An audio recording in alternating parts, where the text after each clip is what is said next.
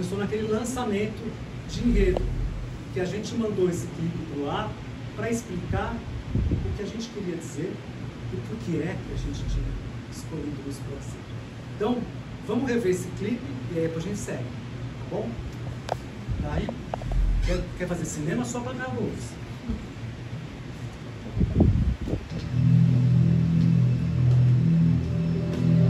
Há uma mulher, griot, a guardiã de saberes ancestrais, cuja missão é contar histórias.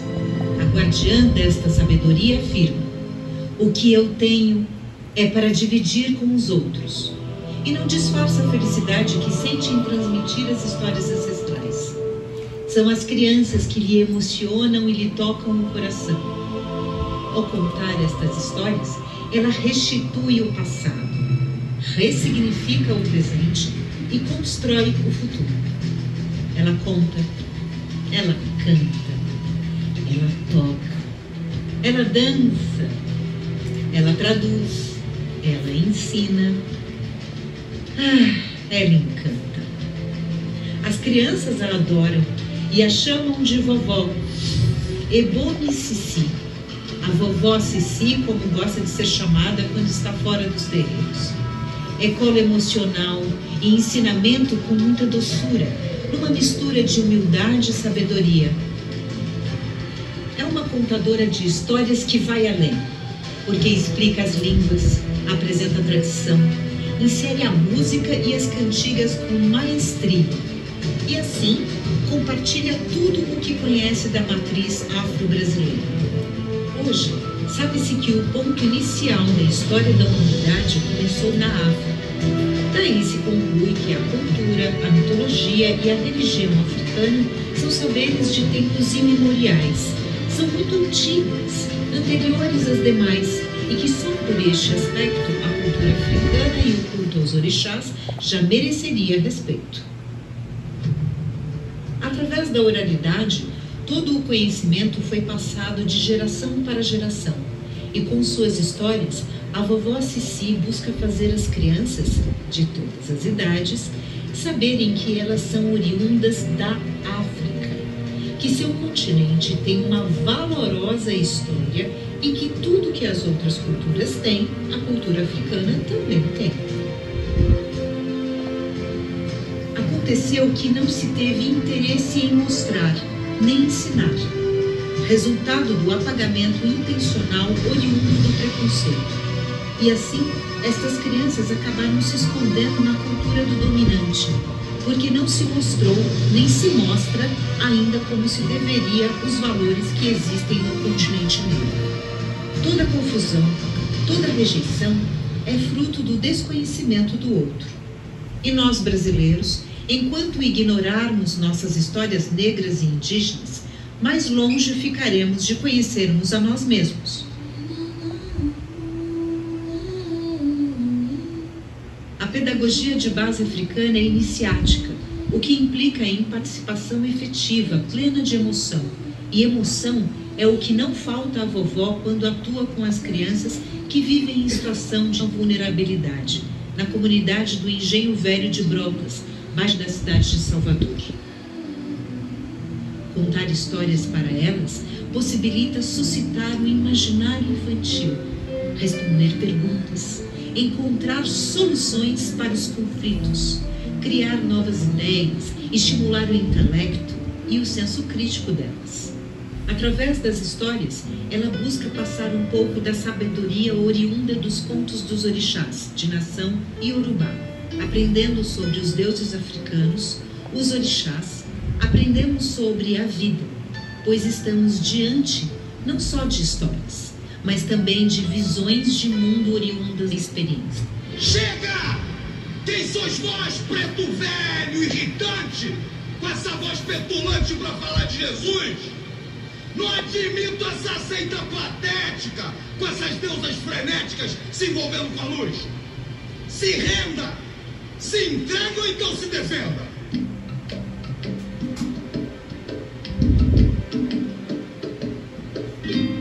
Já que você deu licença pra esse nego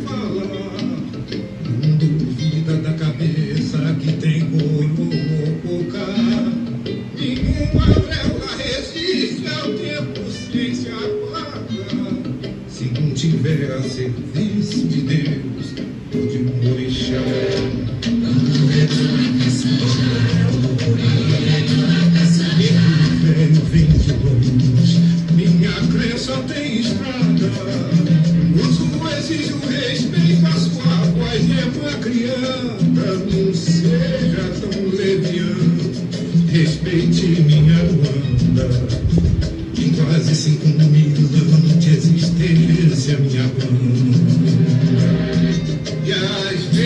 vezes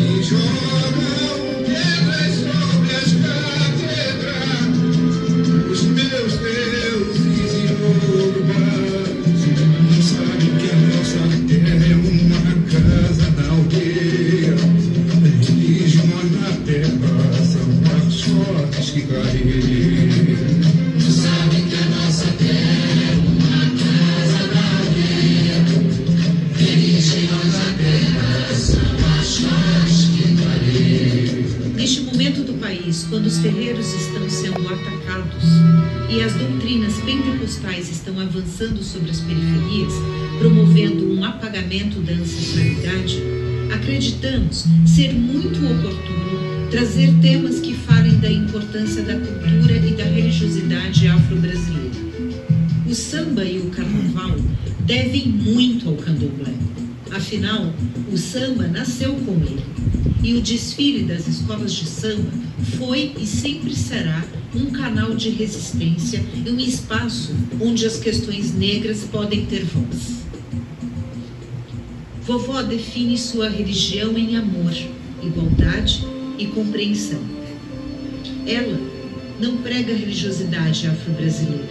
Ela conta histórias e ensina algo precioso em cada encontro, respeitando todas as outras crenças, pedindo e tendo compreensão para com todas as pessoas. Nancy Cici de Souza é uma biblioteca viva. Com cerca de 50 anos de iniciação no candomblé, ela é guardiã de conhecimento ancestral africano, uma mensageira das gerações antigas. No último ano de vida, O Babá Fatumbi PRVG, vovó Cici ajudou ele a documentar as conexões ancestrais entre a África e a diáspora. PRVG foi um fotógrafo, etnólogo, antropólogo e pesquisador francês que viveu grande parte da sua vida na cidade de Salvador. Ele realizou um trabalho fotográfico de grande relevância, registrando a história, os costumes e principalmente a religião praticada pelos povos iorubás e seus descendentes, na África Ocidental e na Bahia.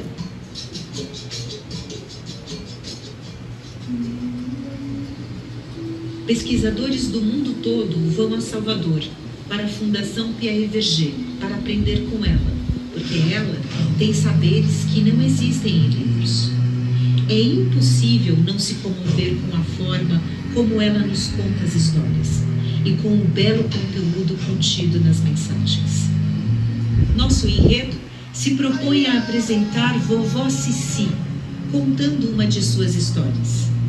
Queremos ser amplificadores de sua voz, de seu conhecimento, de sua fé, de sua emoção e desta incrível visão iorubana do mito da criação.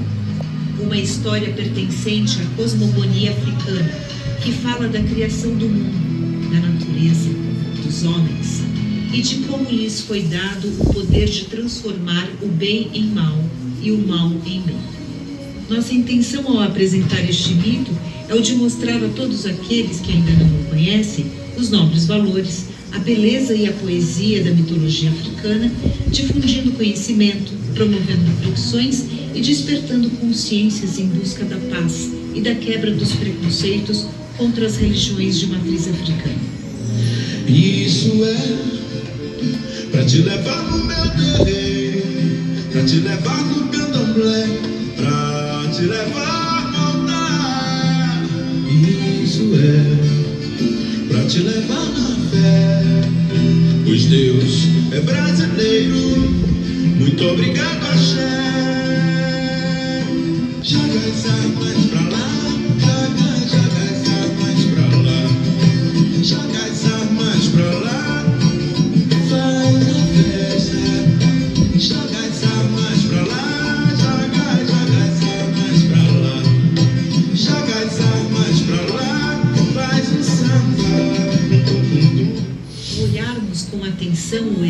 E a missão de vida de vovó Ceci, notamos ainda outros dois pontos importantes a destacar.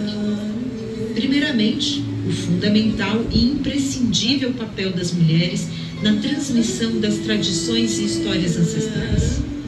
Sim, porque coube a elas, e ainda cabe, na maioria das vezes, além da educação dos filhos, a missão de trazer o conhecimento do passado até o presente, garantindo sua transmissão para o futuro.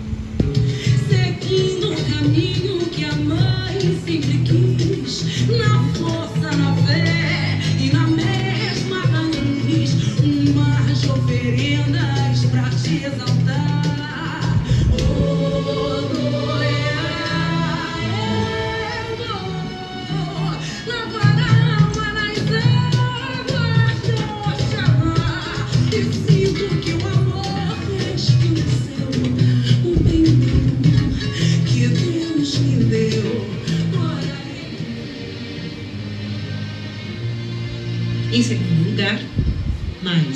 menos importante, a necessidade de darmos ouvidos e honrarmos os mais velhos, os que têm mais sabedoria.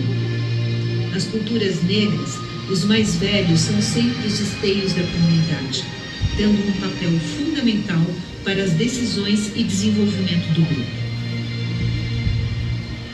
Neste enredo, onde apresentamos o mito da criação e reverenciamos a missão desta importante griot do axé, a vovó Cici, nós não poderíamos deixar de reverenciar também os griots do carnaval, nossos mestres.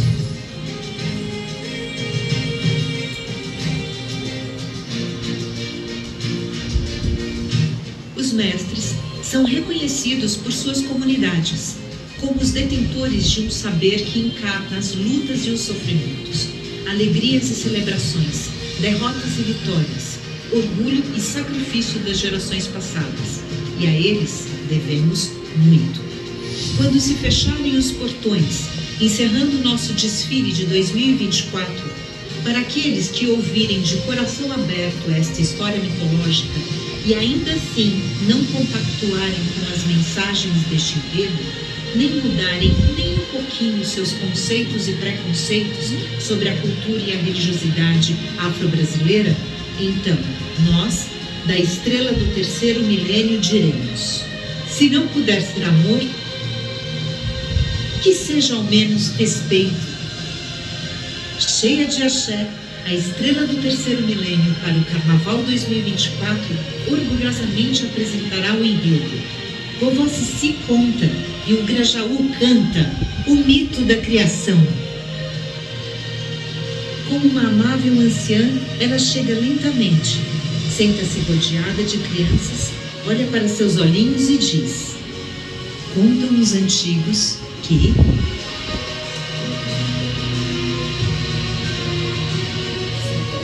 Olá, minha gente. Eu quero saudar a imprensa, como se dizia no meu tempo, escrita, falada e televisada. Quero saudar todos vocês, o Brasil inteiro está ao som dos tambores.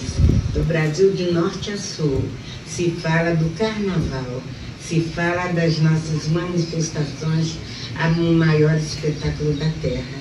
Então eu quero falar da, dos meus agradecimentos, muitos agradecimentos ao pessoal, todo o corpo, toda a comunidade do Grajaú, de onde vem a escola Terceiro Milênio. Eu quero agradecer a todos vocês por, por, pelo carinho, principalmente, e por eu ter sido escolhida nessa homenagem deste ano de 2024, de ser a pessoa escolhida para o Enredo. Sou uma pessoa simples e humilde, mas que tem muita fé na vida.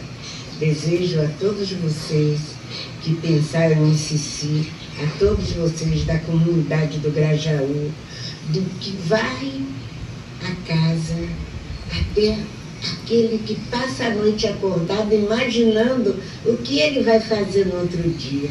Porque tudo é um conjunto de pessoas, é um conjunto de pensamentos. Isso tudo é a união de todos vocês que faz da terceiro milênio ser uma família, uma grande família. Então eu quero agradecer a vocês e convidá-los para, no próximo desfile das grandes escolas, vocês, com a sua presença, estar lá nos prestigiando a todos vocês. E quero dizer que hoje, essa terça-feira, que vocês todos, todas e todos vão ouvir vovó Ceci, que tenham muito axé, que recebam um axé de todos os orixás e especialmente de Ogum, aquele que abre nossos caminhos, aquele que nos traz boa sorte, aquele que nos traz vitórias. Então eu desejo a todos vocês tudo de bom e vamos lá, terceiro milênio!